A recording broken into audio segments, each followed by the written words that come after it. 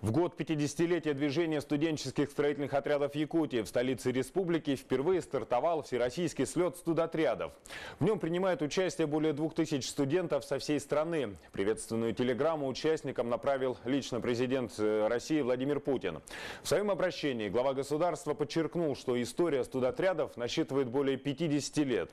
По его словам, многие поколения смелых, искренне любящих родину юношей и девушек поднимали целину своим трудом и талантом в вносили весомый вклад в развитие промышленного, строительного, транспортного комплексов страны, отечественного народного хозяйства в целом. Участников и гостей Всероссийского слета ждет более 20 различных мероприятий и площадок в городе Якутске. Открытие слета – отличный повод вспомнить ветеранов движения и трудовые достижения нынешнего поколения. Тему продолжит Марианна Кутукова. Подруги Любовь Борисова и Татьяна Птицына в 70-х годах познакомились в студенческом строительном отряде «Чайка». Оба в разные года были командирами этого отряда. Чтобы носить гордое имя бойца студотряда, студентки историко-филологического факультета прошли жесткий отбор. После каждое трудовое лето осталось в памяти как самое светлое воспоминание студенческих лет. Хрупкие девушки строили школы в селах. Одна из них в селе Чукар Нюрбинского района до сих пор работает. Она уже 6 лет как стояла, недоделанная, недостроенная, потому что некому было вот такие эти работы провести. А тут приезжают 50 человек, наверное, их представление, что мы... девушки. Ага, все девушки, да, ну, кроме мастера, да? Кроме двух мастеров. Кроме двух мастеров, да. И мы вот учимся, мы умеем только писать, читать, самое, да, вот сдавать экзамены.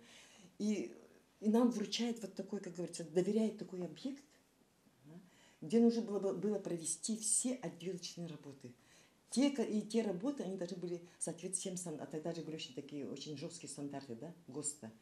Мы, и мы должны были все придерживать этого все сдать, этот объект. Как это вот так вот мы могли э, смело, да, э, брать на себя вот такую нож. Мы также на следующий год, да. в 76 году, поехали в Момский район, село Хану, тоже такая же школа, да. и полностью нами была подготовлена да. школа к сдаче к 1 сентября.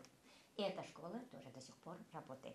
И вот я показываю табель водного инструктажа по технике безопасности «Чайка 78».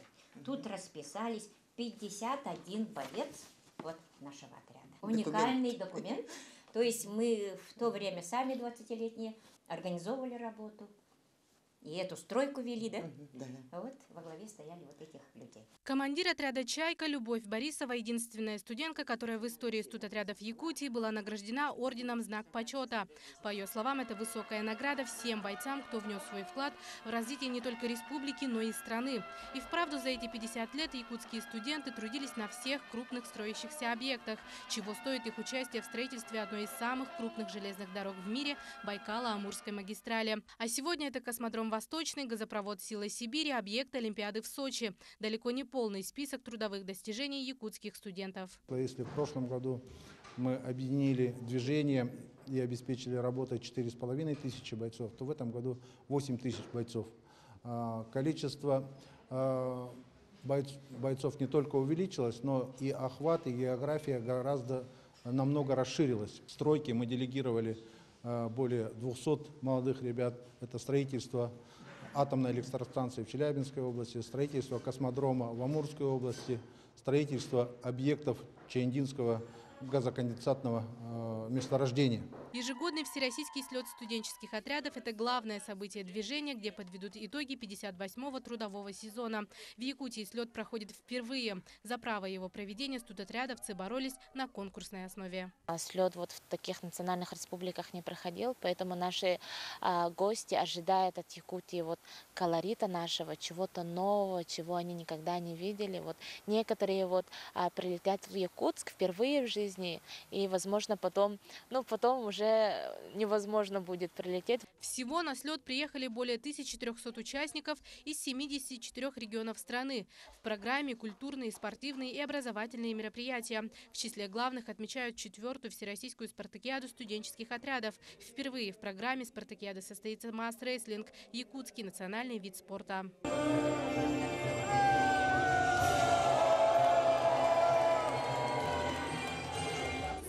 Ярким событием слета стало открытие памятника. В России это десятая по счету скульптурная композиция, посвященная бойцам студотрядов.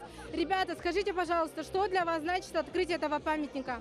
Открытие памятника в Республике Саха-Якутия означает, ну, это дань а, всем бойцам, ветеранам а, студенческих отрядов Республики Саха-Якутия а, разных годов. А ведь бойцами студенческого отряда становятся самые трудолюбивые, активные, дружелюбные ребята. Исходя из нашего опыта, можно сказать, что стройотряды – это большая школа жизни. Вот. И наши бойцы, наши бойцы сегодня, можно сказать, они все состоялись. Это то, что остается на всю жизнь с тобой. И ты боец. Ты боец. По жизни. По жизни Да. так и получается. Мариана Кутукова, Евгений Тайтонов, Андрей Рукавишников, Джулустан Иннокентьев, Василий Слепцов. Якутия день за днем.